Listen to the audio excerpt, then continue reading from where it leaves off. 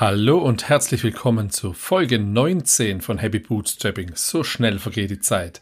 In der heutigen Folge habe ich mit Tobias Paulus von Mind Supply gesprochen. Tobi suchte nach langen und stressigen Arbeitstagen bei einem Online-Broker nach Möglichkeit, sein Energielevel zu erhöhen oder auch einfach nur besser zu schlafen. Und ja, so wurden die Supplements von Mind Supply geboren. Es gibt drei verschiedene Produkte, die in Deutschland produziert und dann im Dachmarkt verschickt werden. Wie das Ganze funktioniert, also die Produkte, die Produktion an sich, warum der Vertrieb über Amazon FBA für ihn ein Gamechanger war, warum er einen ja, gemeinsamen Podcast mit seinem Bruder Christoph macht, was Notizbücher für eine Rolle spielen und warum er unbedingt mal in Urlaub gehen wollte. Über all dies haben wir in der aktuellen Folge gesprochen und jetzt geht's auch schon direkt los. Viel Spaß! Hallo Tobias, herzlich willkommen. Hallo Andreas, freut mich hier zu sein. Wer bist du und was machst du? Mein Name ist Tobias Paulus, ich bin 32 Jahre jung und äh, ich bin Gründer und Geschäftsführer von Mind Supply. Du bist zehn Jahre jünger wie ich, nicht schlecht. Was macht Mind Supply? Genau, mit Mind Supply haben wir uns das Thema die mentale Gesundheit auf die Fahne geschrieben. Das heißt, wir durchleuchten dieses ganze Thema ähm, ja, mentale Gesundheit, Schlaf, Stimmung, Konzentration und äh, bauen da halt auch einen Social Media Kanal mit rundum auf und äh, haben unsere klassischen ähm, ja, Supplements in Kapselform selber entwickelt. Also kein White Labeling Produkt oder sowas, sondern äh, wirklich eine Rezeptur entwickelt, die äh, die Konzentration stärkt, äh, einen besser einschlafen lässt und äh, die Stimmung anhebt. Cool, also es ist ein spannendes Umfeld, bin ich schon sehr gespannt, Absolut. wenn wir dann beim Produkt ins Detail gehen. Wie lange gibt es Mind Supply schon? Boah, also gegründet haben wir die GmbH 2018. Das war aber ja anfangs ein komplettes Side-Project. Ähm, ich sage immer mal so, so hatten, ja, es hat mit einem Hobby, ange mit Hobby angefangen. Ich habe das damals mit einem Kollegen zusammen gemacht ja, man hat sich abends so getroffen, man hat ähm, an der Rezeptur rumgedoktert und hat überlegt, okay, was, was, was könnte man machen? Und ja, und so wirklich live sind wir seit Anfang letzten Jahres. Okay.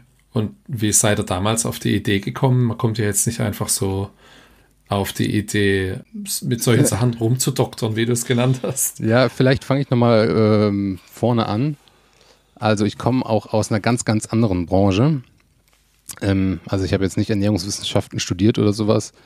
Ähm, mhm. Aber ich, ja, mein alter Arbeitgeber war die Flatix die Giro AG. Ähm, das heißt, ich komme, also habe damals eine klassische Bankausbildung gemacht, komme aus diesem Finanzsektor, habe zehn Jahre in dem Bereich ähm, ja, Brokerage und Projektmanagement gearbeitet. Also was heißt das? Ne? Ganz normale ähm, Kundenhandel mit Aktien und im Hintergrund braucht man das ganze Banking-System, die ganze Software. Und äh, da habe ich halt Projektmanagement betrieben, habe Bankensysteme aufgebaut, habe ein Callcenter in Spanien mit aufgebaut. Also sehr bankenlastig. Genau, und irgendwann würde ich sagen, es war halt schon anstrengend. Ne? Also man war viel unterwegs, man war wirklich viel am Rumhasseln, ist von Termin zu Termin, sage ich immer so schön. Ja, saß viel im Flieger, saß viel im Auto. Und ja, da bin ich halt mit diesem Thema äh, mentale Gesundheit aneinander gestoßen oder habe mich da mit befasst oder befassen müssen. Thema Stress. Und ja, äh, ich, habe dann angefangen, an einer Zeit, an einem Punkt, irgendwie meine Ernährung umzustellen. Ne? Irgendwie, weil ich mich nicht mehr so konzentrieren konnte, habe ich angefangen, mehr Sport zu machen, habe angefangen zu meditieren, habe angefangen, mir irgendwie externe Hilfe zu holen, darüber zu reden, darüber zu sprechen. Aber irgendwie hat das Ganze dann doch nicht so gefruchtet oder irgendwie fehlt mir da was. Und dann habe ich mich nochmal mit diesem ganzen Thema Nahrungsergänzungsmittel auseinandergesetzt und diesen Stoffen, die halt die Natur für uns bereithält. Und bin dann irgendwie auf dieses Thema Supplements gekommen. Ja, und dann fängt, ich sag mal so, diese klassische Gründerstory an, dass man irgendwie ins, ähm, in den Laden geht, klassisch in den Drogeriemarkt. Man geht rein und ist erstmal so, überflutet von diesem ganzen Angebot, was es denn da so gibt. Denn es gibt einfach unfassbar viel. Es ist einfach so. Und ja, ich wusste damals auch nicht, was ist denn jetzt gut für mich, was, was hilft mir. Und da fing es tatsächlich an, wo ich mir dann so nochmal mehr Gedanken darüber gemacht habe, was braucht mein Körper. Ich habe viel gelesen, was, was unterstützt mich jetzt bei meiner Konzentration, was lässt mich besser und schneller einschlafen. Und habe dann so für mich meine Stoffe zusammengesucht und jetzt erstmal platt gesagt, in eine Excel-Liste gepackt und das dann für mich so strukturiert. Weil für mich gab es damals keine Produkte, die mir so zugesagt haben, die, wo ich was mit anfangen konnte. Also es gab viel, aber irgendwie war, waren dann die Mengen zu gering oder die Heilversprechen zu groß, wo ich mir dachte, okay, krass, so, so eine Wunderpillen kann es gar nicht geben. Oder die, die ganze, ja, es war alles so auf so High-Performer ausgerichtet. Von wegen, hey, wenn du die Pille nimmst, dann bist du noch besser, kannst noch besser performen. Aber ich wollte irgendwas, was mir einfach, was mich bei meinem Doing unterstützt. Und ich will ja nicht noch mehr performen, sondern ich will eigentlich mit dem, was ich tue, besser klarkommen.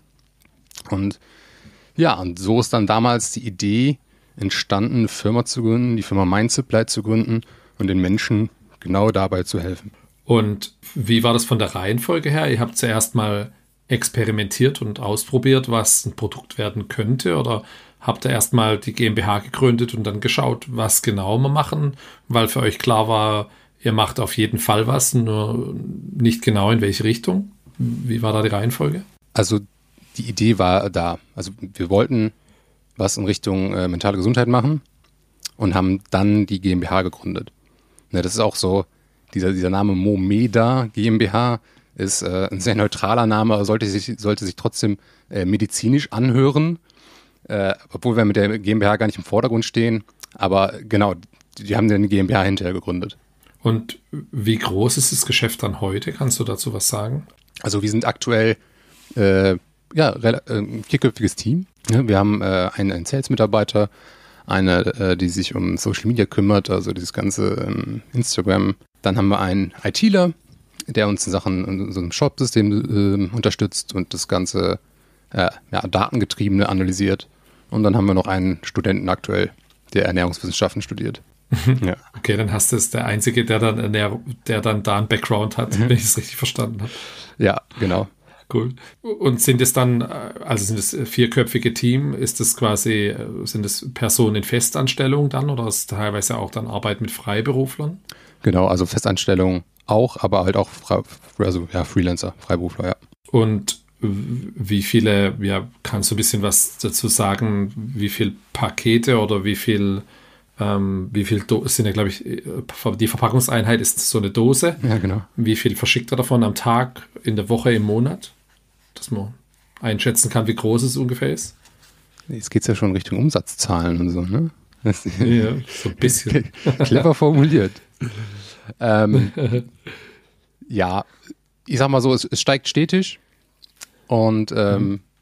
ja, wir sind optimistisch, dass wir unsere persönlich gesetzten Zahlen des Jahr erreichen werden. okay, geschickt ausgeglichen. Aber das heißt, du machst es dann, wie lange machst du es dann selber hauptberuflich?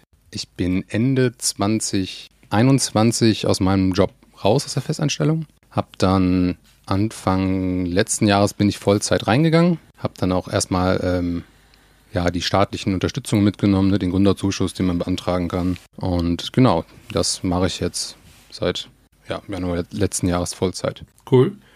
Und hattest du dir, wie bist du da vorgegangen? Hattest du dir in deinem jetzigen Job dann, jetzt hast du bei einem Broker gearbeitet, da spart man wahrscheinlich dann in Fonds und oder in auch in Risikoaktien, ich weiß nicht, hast du dir was angespart für die Zeit, dass du die GmbH-Gründung finanzieren kannst, dass du ja ein Jahr ähm, Kapital hast, um, um, um durchzuhalten? Oder wie bist du da vorgegangen?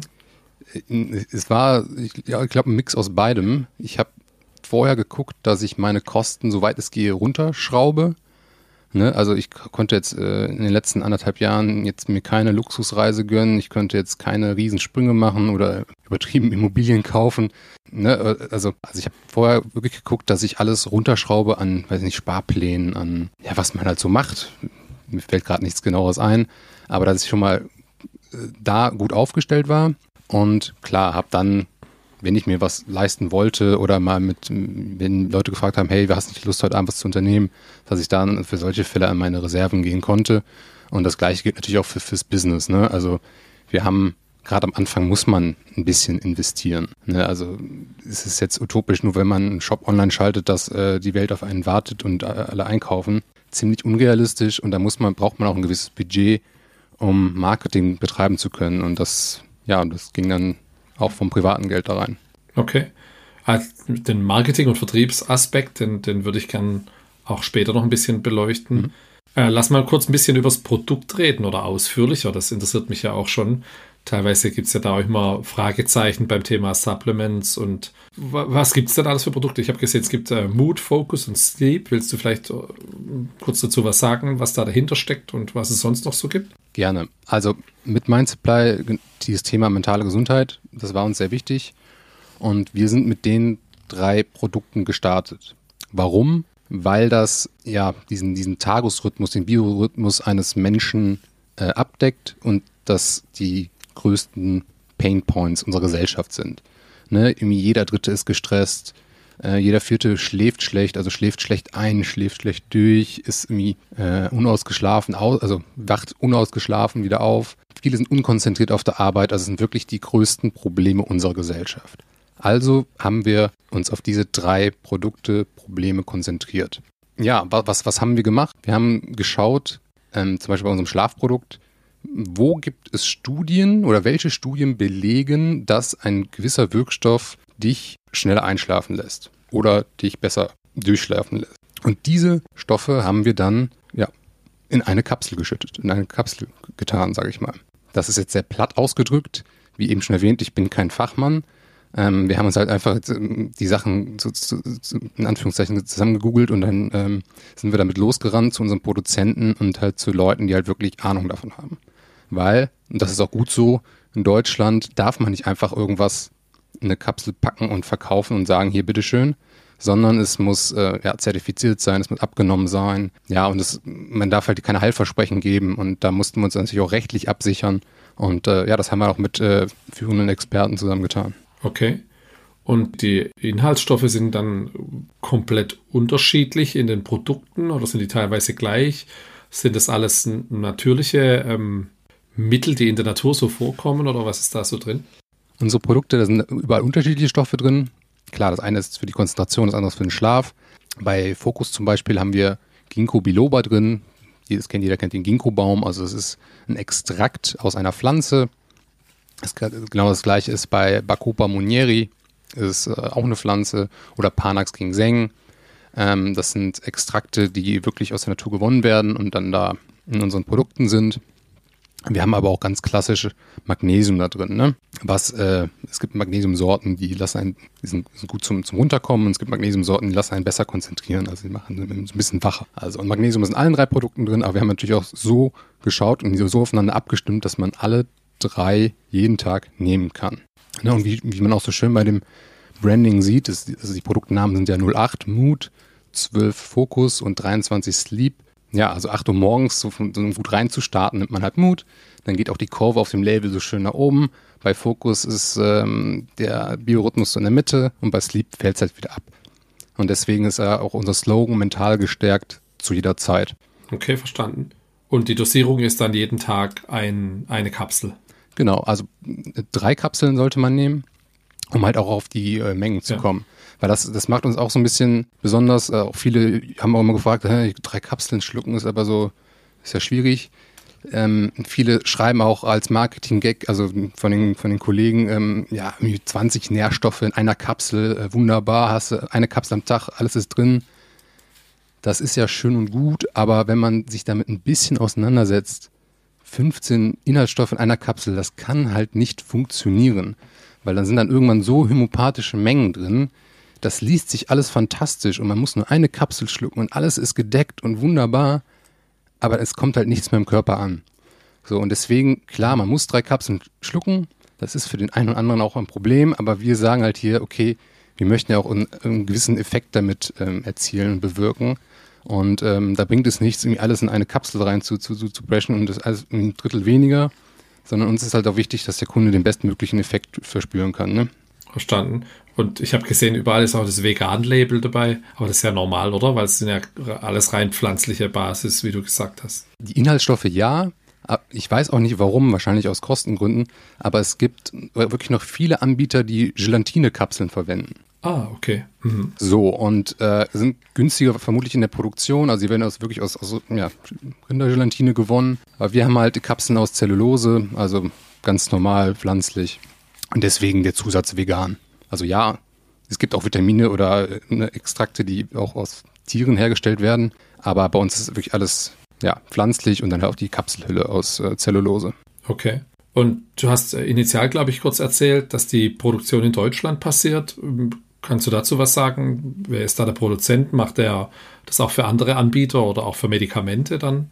Ja, die nennt man Lohnhersteller. Und zwar, es ist, war uns oder es ist uns sehr, sehr wichtig, dass das alles in Deutschland produziert wird, weil kurze Lieferwege, wir haben auch, wir können die Leute schnell besuchen, fahren und ja, wir haben halt mehr Kontrolle darüber. Denn wenn man das irgendwie in China produzieren lässt, das ist ja schwierig, aber das sind ganz normale Lohnhersteller, die halt auch für andere produzieren. Man, man geht dahin mit der Rezeptur und sagt, hör mal hier, ich möchte Vitamin A bis Z in der Kapsel haben oder ich möchte einen Riegel haben.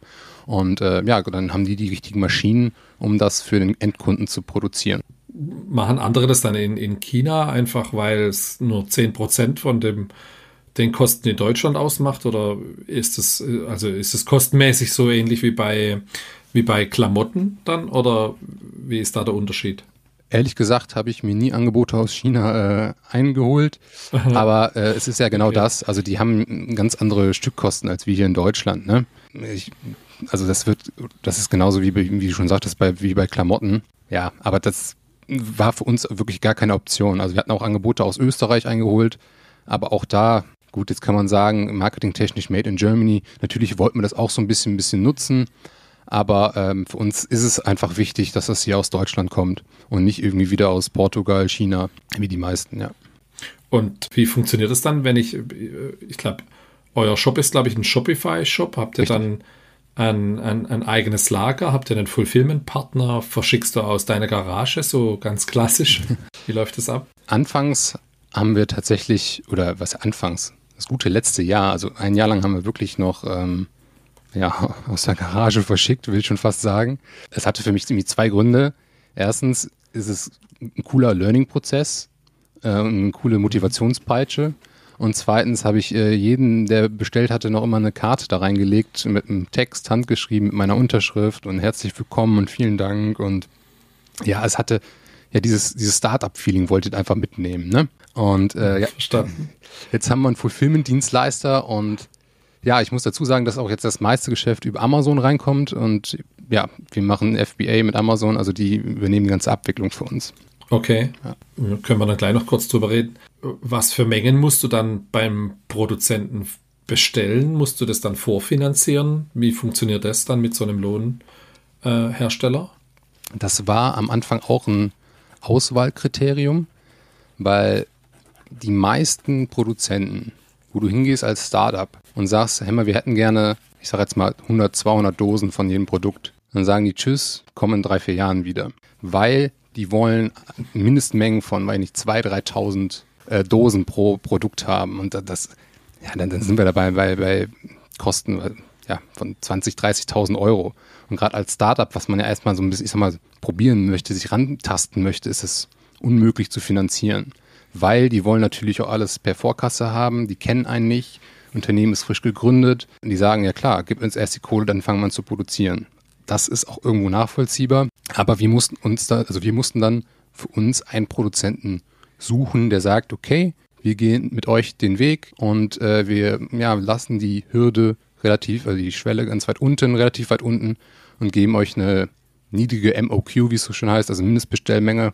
Und da haben wir anfangs, ich glaube, es waren 500 pro Produkt, mussten wir dann doch bestellen. Was für uns, äh, ich möchte jetzt nicht unseren Einkaufspreis äh, äh, preisgeben, aber was für uns natürlich trotzdem eine riesige, ja, ein Riesenbatzen Geld war. Ne?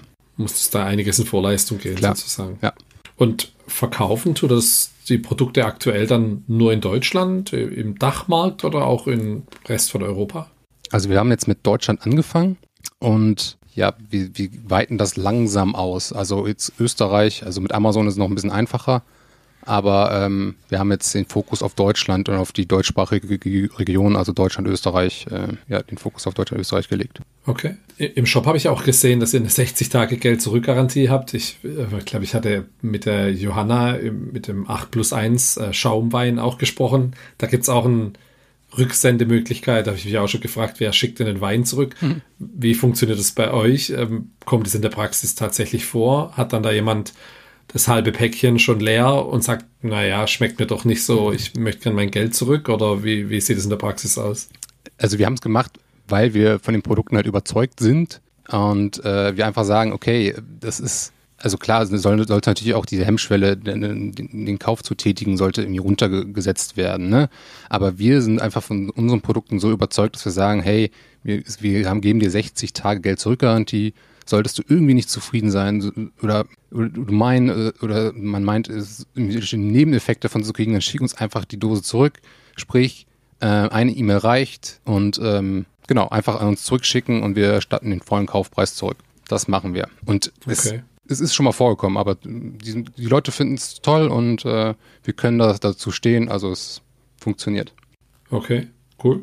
Thema Technologie oder Tech-Stack. Ich glaube, ich habe Shopify gesagt vorhin, habe ich, glaube ich, richtig mir angeschaut, oder? Ja, genau. Was, was nutzt ihr da und was habt ihr sonst noch so im Einsatz? Also wir nutzen genau Shopify und ja, haben da natürlich ein, einzelne Tools, die uns unterstützen, aber das ist unser, äh, ja, unser Hauptprodukt. Und, und der Shopify-Shop hat dann eine Anbindung an euren Fulfillment-Dienstleister und, und äh, auch an, an Amazon dann. Genau, also wir haben äh, Apps, eine Bewertungs-App ist da drin, äh, Bilby ist da drin.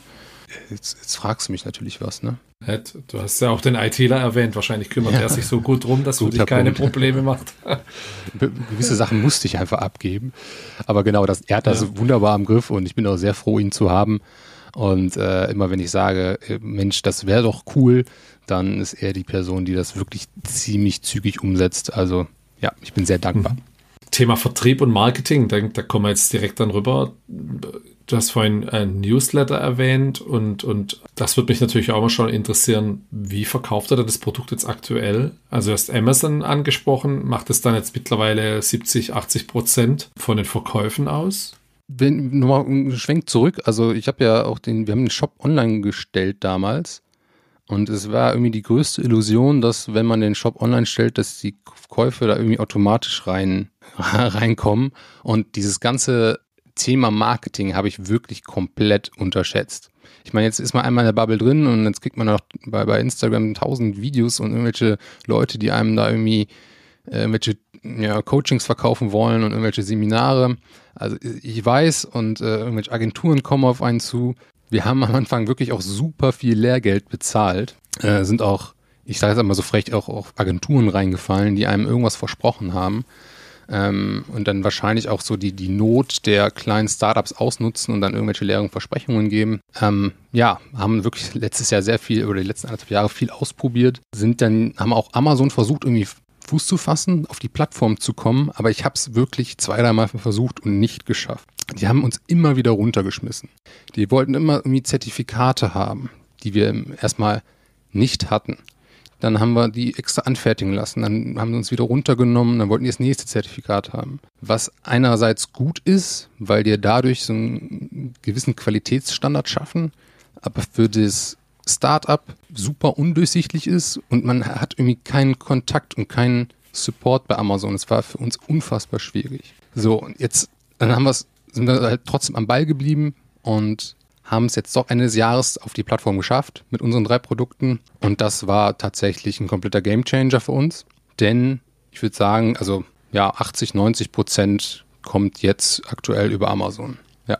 Und ranken die Artikel dort dann organisch so gut oder schaltet ihr dann auch, ich glaube, wie heißt das, Amazon Ads oder sowas, Werbung dort für die Produkte? Oder funktioniert das einfach so? Ein, einfach so wäre schön. Äh, es ist auch da ein Riesendank an unseren ITler, der da viel Hirnschmalz reingesteckt hat.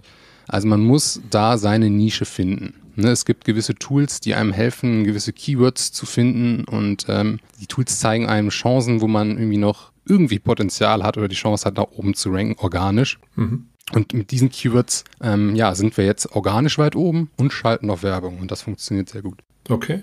Und für die, wo jetzt das Modell nicht verstehen, ihr, ihr schickt quasi eure Artikel in ein Amazon Logistics Lager und die machen das Packaging und den Versand für euch. Das ist ja Amazon FBA, korrekt? Genau, also es gibt ja äh, zwei Arten bei Amazon. Entweder man verschickt es selber, das heißt, die, äh, also die Order kommt über Amazon und einer hier muss dann bei uns rumrennen und das Produkt verschicken.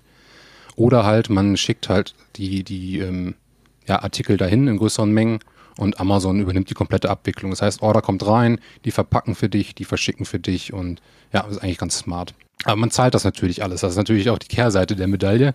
Äh, Amazon nimmt ihre, also die, seine 15 Prozent für Supplements pro Bestellung. Amazon nimmt Lagergebühren und halt Versandkosten. Ne? Das darf man halt auch nicht vergessen. Und das ist dann aber auch schon wahrscheinlich, keine Ahnung, wo wirst du da landen? 20, 25 Prozent dann? Ja, locker. Was dir jetzt, okay. Und sind die, wenn ich jetzt mir die Artikel, ich habe mir so für Amazon nicht angeschaut, aber ich werde es auf jeden Fall verlinken, kosten die das gleiche dann wie bei euch im Shop oder habe ich einen Preisvorteil, wenn ich sogar bei euch im Shop bestellen würde? Ähm, also die kosten das gleich auf Amazon und bei uns im Shop hat man natürlich dann einen Preisvorteil. Ne? Man kann sich zum Newsletter anmelden, man kann mich auch privat anschreiben, dann kriegt man auch eine Antwort oder einen Rabattcode zugeschickt.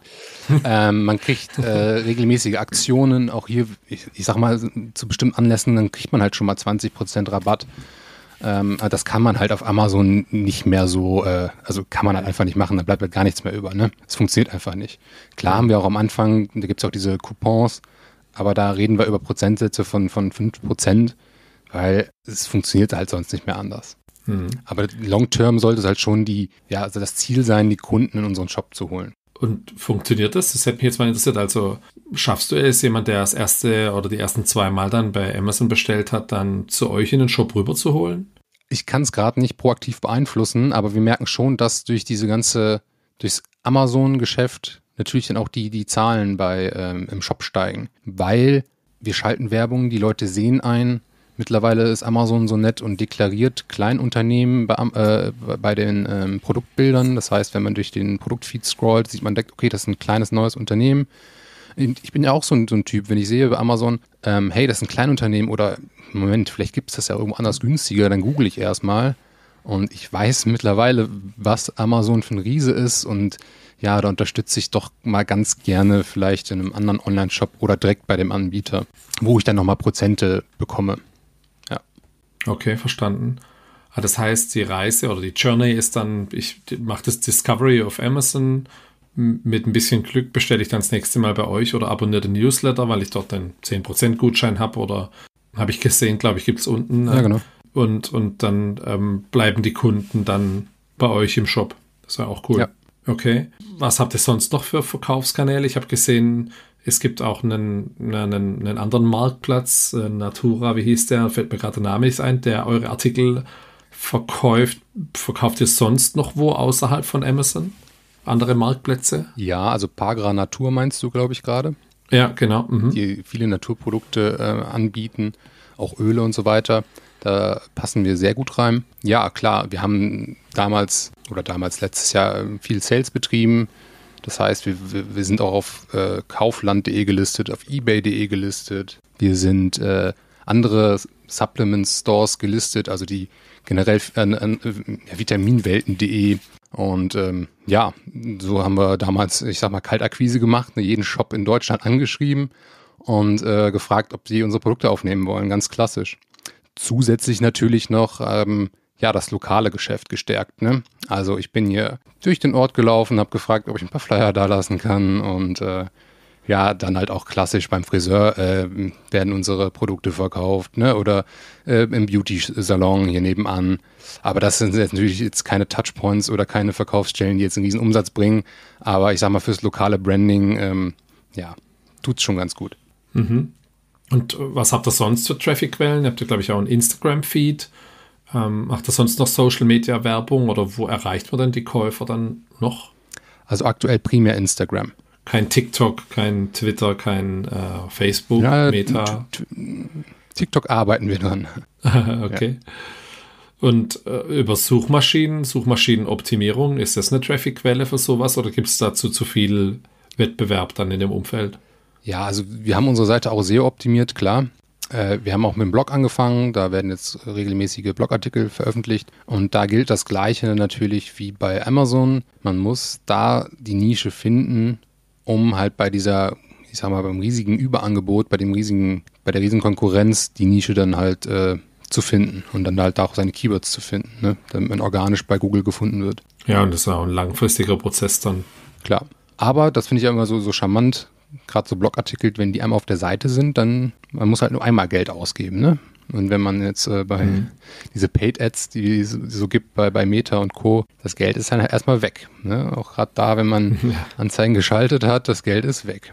So, und bei diesen Blogartikeln finde ich es halt schön, dass man halt nachhaltig da so ein bisschen sich was aufbauen kann. Gibt es denn außerhalb von den digitalen Kanälen dann, du hast kurz das Thema Friseur oder Drogerie noch angesprochen, gibt es dort äh, ja Zeitschriften oder Publikationen, wo du dann auch klassisch analog Werbung machen könntest für das Produkt oder für die Produkte?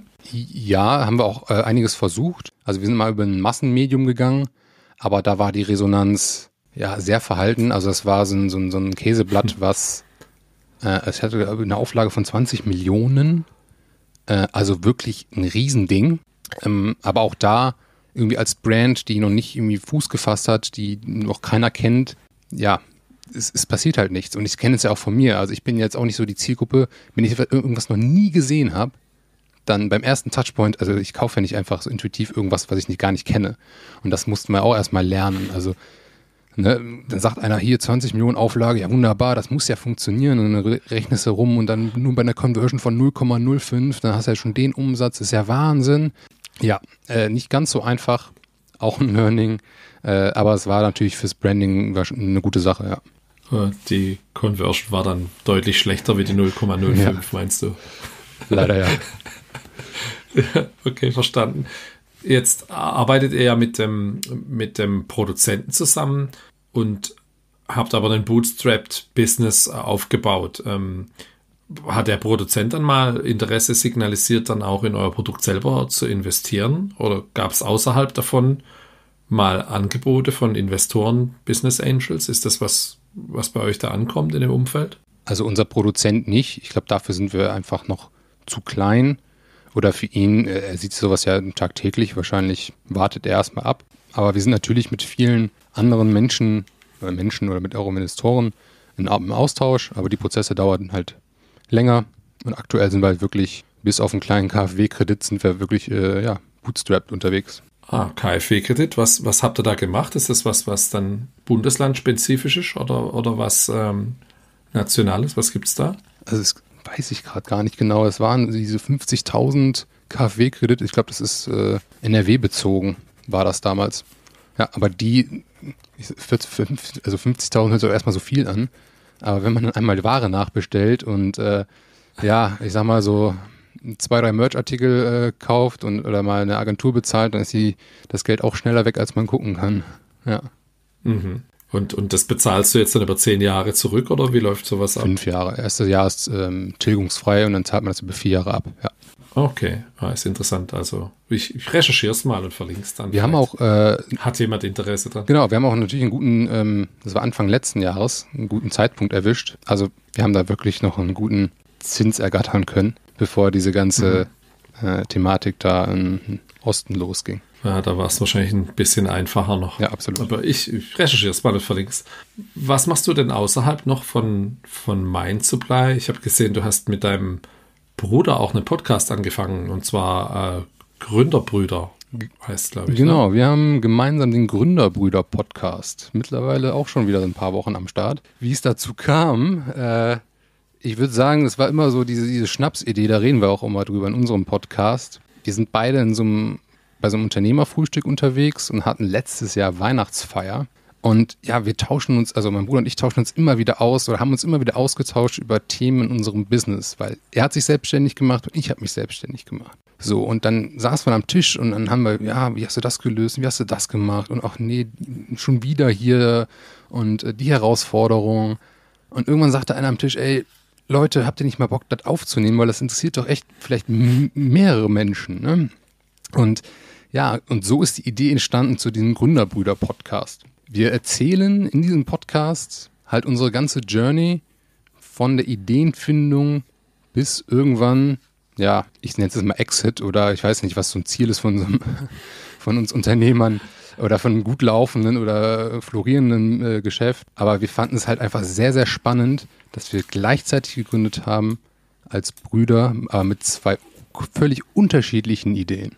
Was macht dein Bruder genau? Er hat die erste branchenübergreifende Buchungs-App entwickelt.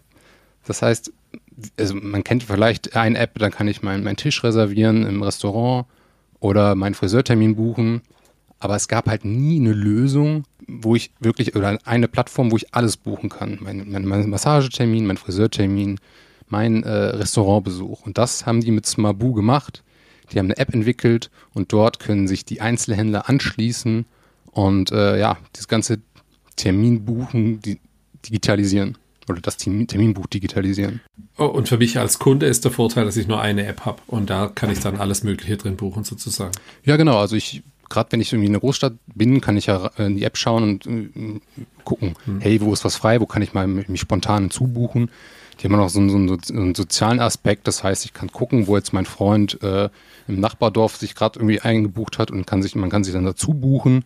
Genau, also für den Endkunden ist es natürlich komplett kostenlos und er kann dann äh, ja einfach in die App schauen und äh, für sich den, ich sag mal, diesen ich kenne es auch von mir, diese, zum Hörer greifen und irgendwo anrufen, ist für mich teilweise eine Riesenüberwindung.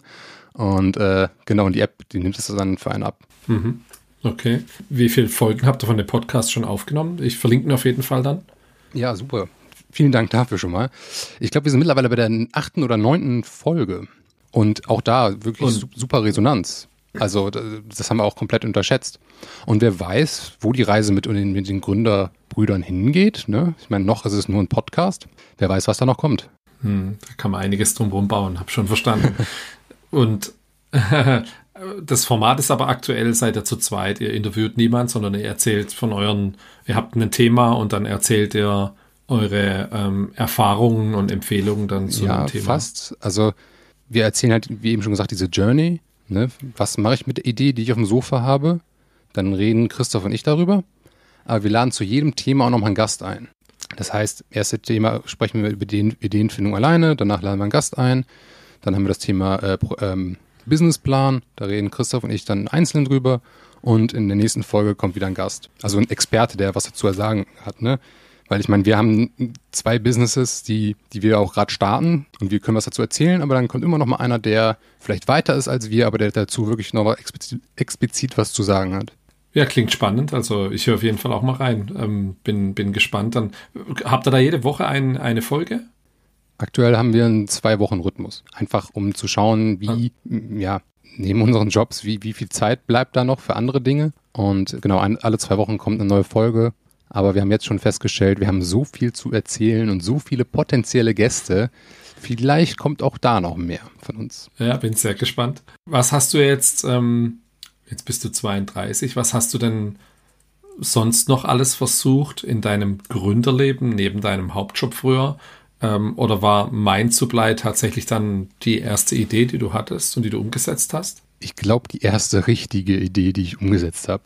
Also ich hatte schon immer, auch schon als Kind, irgendwie diesen, ja, diesen Drang, irgendwas zu machen und zu unternehmen. Ich meine, da kommt das Wort wahrscheinlich auch Unternehmertum her. Aber ich fand es schon immer toll, Sachen irgendwie bei Ebay reinzustellen, irgendwas zu kaufen und irgendwie wieder zu, zu verkaufen. Ne? Also ich, ich finde es auch toll, irgendwie an alten Autos rumzubasteln. Ich habe so meinen Oldtimer, das macht mir Spaß. Aber auch da immer fand ich hat mir immer Spaß gemacht, Ersatzteile irgendwie zu kaufen, zu polieren und wieder weiter zu verkaufen. Ich habe das nie im großen Stil gemacht. Ich habe jetzt auch nie gedacht, da irgendwie ein riesen Business draus zu, zu, zu drehen, aber ist klar, wenn man so irgendwie schafft, so sein Taschengeld aufzubessern, ähm, ja, hab, hat auch mal oder habe immer noch mal eine kleine Halle, wo ich dann äh, so, so Sachen machen kann. Äh, aber tatsächlich so mit Mind Supply war oder ist so mein erstes richtiges Baby, was ich ja auch äh, ernsthaft nachgehe. Ich habe gesehen, du hast auf LinkedIn auch einen Artikel auf ein, eine, ja, eine Huldigung auf das gute alte Notizbuch geschrieben. Den Artikel verlinke ich dann auch. Oder den, den Post. Das liegt auch wieder neben ähm, mir hier auf dem Tisch, ja. Kommt als nächstes dann ein spezielles Notizbuch noch unter einem anderen Brand. Ein, ich ich ähm, wollte gerade sagen, also auch das Thema Mind Supply, das ist, ähm, die Supplements sind ja vielleicht nur der erste Schritt den Menschen zu helfen, ne, mit, äh, mit vernünftiger Nahrungsergänzung. Aber vielleicht, ja, vielleicht gibt's, kommt auch irgendwann das Mind Supply Notizbuch oder ja, wer weiß es schon. Die Ideen sind da. Die Ideen sind da, aber du magst nicht drüber reden. Ja, ich meine, das Notizbuch ja. war schon ein erster guter Punkt. okay, bin gespannt. Neben dem ähm, Notizbuch-Posting habe ich noch einen Post zum Thema 1,5 Jahre oder eineinhalb Jahre ohne Urlaub gefunden. Jetzt äh, sind wir schon bei den Vor- und Nachteilen von Bootstrapping, aber warst du jetzt inzwischen im Urlaub? Ja, der Post ist auch nicht ganz richtig. Es waren, glaube ich, zwei Jahre. Tatsächlich. Macht nicht besser. äh, und nein, leider noch nicht. Ich arbeite daran. Genau, du hast es schon gesagt, Thema Bootstrapping. Es ist halt leider kein Investor da gewesen, der jetzt sagt, immer hier, stell mal, also hast, hier hast du Geld, stell mal ein paar Mitarbeiter ein. Ähm, das ist wahrscheinlich die Kehrseite der Medaille. Aber doch, ich war drei Tage mal weg Anfang des Jahres. Ähm, diese Kurztrips, die, darum geht es ja auch so ein bisschen im Artikel, einfach mal sich zwei, drei Tage Bewusstsein zu nehmen, also ein Handy auszumachen, weglegen und äh, ja, so ein bisschen den, den, den Kopf resetten. Und das hilft mir schon, da runterzufahren. Aber doch, äh, ich sehne mich langsam mal wieder nach so zwei, drei Wochen einfach mal weg. Handy aus, irgendwo hin. Mhm weil ich habe ja auch komplett in dieser Corona-Zeit gegründet, ne? Und wenn man dann aus seinem festangestellten Verhältnis rausgeht, wo man so seinen jeden Tag den, Austausch mit seinen Kollegen hat, man fährt ins Office, ne? Man, man trifft auf dem Flur jeden Tag irgendwelche Leute, aber dann von heute auf morgen komplett alleine zu Hause sitzt, dann auch noch Corona kommt und überhaupt mit gar keinem mehr zu tun hat. Ich sag mal so, ich kann Urlaub durchaus gebrauchen. Aber dafür habe ich auch meine kleinen Helferchen, die mir, ähm, die ich entwickelt habe, die mir dabei helfen, diese Zeit zu, zu überstehen, ja. Jetzt bist du ja wahrscheinlich nicht ohne Grund auf das Thema Main zu bleiben gekommen. Du hast es am Anfang ein bisschen angesprochen. Was für Herausforderungen siehst du denn neben dem ja, Gründerstress dann noch in dem Bootstrapping-Modell? Das ist eine wirklich sehr gute Frage. Also es ist die, die Zeit richtig einzuteilen und wirklich für sich zu, herauszufinden, wo ich meine Zeit und mein Geld investiere. Weil am Anfang, man hat irgendwie man spricht immer von diesem Learning eines Unternehmers, aber es ist halt irgendwie wirklich so.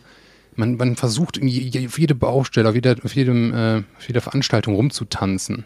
Aber es geht irgendwann nicht mehr. Und ja, das Budget so einzusetzen, nachhaltig einzusetzen und die Zeit, halt nach, die Zeit nachhaltig einzusetzen, das war für mich so das, das Schwierigste. Weil gerade am Anfang, man hat, man lernt viele Kontakte kennen, ne? viele, ähm, man, man, viele Veranstaltungen und ach, hey, lass mal hier, lass mal auf das treffen, lass uns mal hier netzwerken, lass uns doch mal zum Essen verabreden.